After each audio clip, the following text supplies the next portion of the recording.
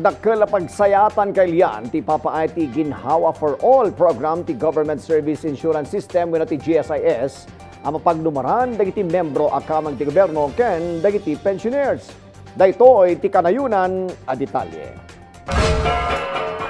Agserserbi ti Government Service Insurance System ti panangipaay kas government na frontline insurance para kay ti empleyado ti gobyerno ken pensioner ang nagretiron iti serbisyo pakibilangan dagiti mabalin na mapagnumaran ti Social Security Benefits and Insurance Funds kan ti General Non-Life Insurance Funds. uh, as a whole sa GSIS, nakikita po natin yung innovations na we are going for a better service. Makita nyo ngayon, dati uh, we transact with your application. Now, we transact paperless transaction Okay. through the GSIS Touch.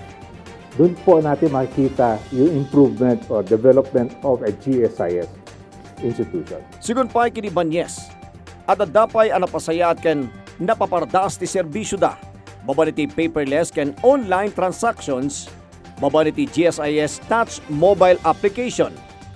Makita ti retoy nga app ti loan details, members ken pensioners record sa status ken premiums.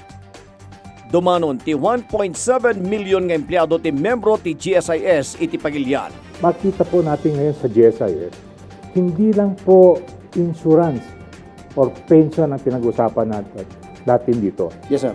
Ang mandato po ng GSIS eh, napakalawak po.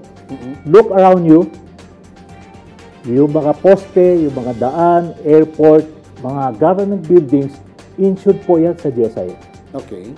So, any eventualities, let's say may disaster, covered po sila sa insurance. Inluluwag pa ito opisyal nga iti masangwanan kat adun tupay dagiti manamna mga inobasyon nga ipatungpal ti ahensya apag numaran dagiti membro. Nupay kasta, naprisar tinadumaduma nga serbisyo ti ginhawa for all wino GFAL program nga agdama ang may patpatungpal para itinasaysayat pay a transaksyon ken benepisyo. First, we have GFAL Active. The package is for members in the active service. Okay. And then G- GFAL Plus, this package is for former government employees and dependents of the members.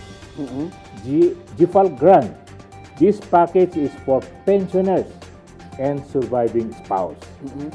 The most availed uh, benefits and others are GFAL program packages. Kabayatan na dumanon iti 42 branches ti GSIS iti Pagilian. Do sa dino, impanakalibanyes. Akaraman iti top 5 ti GSIS Baguio branch kadang iti nasayaat kan napintas ti performance na. Ti commitment ti mangidadaulo ti GSIS Baguio.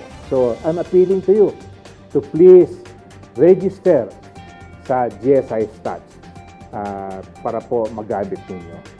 At wala na po tayong ah, GSI kiosk in the future. Matatanggal na po yon. So, ang bago ng innovations ngayon is the GSIS Touch. Yun po, um, gamitin po natin yon para po sa ating ah, issues regarding GSIS.